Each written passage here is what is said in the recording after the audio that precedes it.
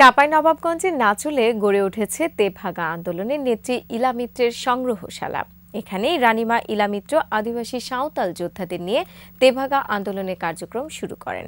এই সংগ্রহশালা থেকে নতুন প্রজন্ম জানতে পারবে ঐতিহাসিক সেই আন্দোলনের নানা কাহিনী।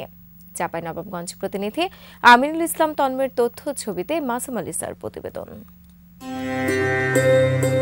ইলা মিত্র এক সংগ্রামী নাম। এক মানবতাবাদী মানুষের নাম, যিনি মানুষের অধিকার প্রতিষ্ঠায় দৃঢ়তার সঙ্গে লড়ে গেছেন জীবনের শেষ দিন পর্যন্ত।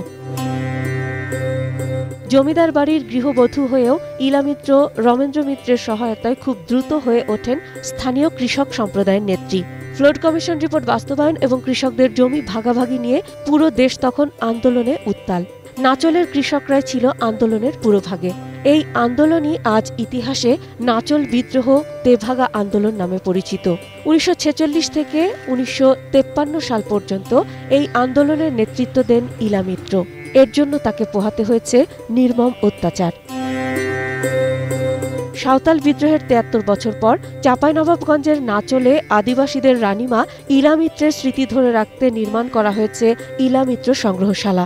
যাতে দর্শনার্থী আসে এবং থাকে তাহলে টিকে রাখার জন্য এটাকে আরও ভালো করতে হবে। জিনিসটা আমরা দেখতে পাচ্ছি ভালো হয়েছে বা আমরা চলাফেরা সব কিছু ভালো হয়েছে। নাচল পৌর মেয়র জানান কিংবদন্তি সাঁওতাল বিদ্রোহ নেত্রীর কোনো স্মৃতি মূলত ছিল না। এখানে নতুন করে সুন্দর একটি সংগ্রহশালা তৈরি হয়েছে এবং এটা নাচল উপজেলার জন্য। শুধু নাচল উপজেলা না আমি বাংলাদেশের জন্য মনে করব এটি একটি গৌরবের বিষয়।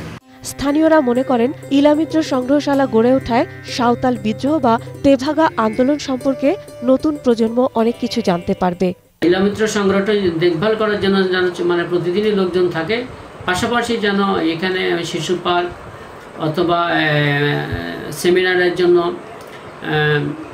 যদি ইয়ে তৈরি করা হয়, ঘর নির্মাণ করা হয়, তাহলে এখানে অনেক পর্যটকরা এসে মানে পিকনিক এবং মানে বিভিন্ন জায়গায় এটা একটা পর্যটন কেন্দ্র হিসেবে গড়ে উঠবে বলে আমি মনে করছি। সংগ্রহশালা নিয়ে বড় ধরনের পরিকল্পনার কথা জানান প্রশাসনের এই কর্মকর্তা।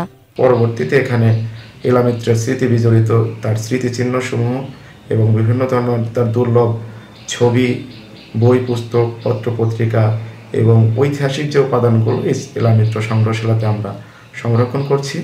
আজীবন সংগ্রাম করে মানুষকে আলোর পথ দেখানো মানুষটি মারা যান দুই হাজার দুই সালের ১৩ অক্টোবর। মাসুম আলিসা একুশে টেলিভিশন।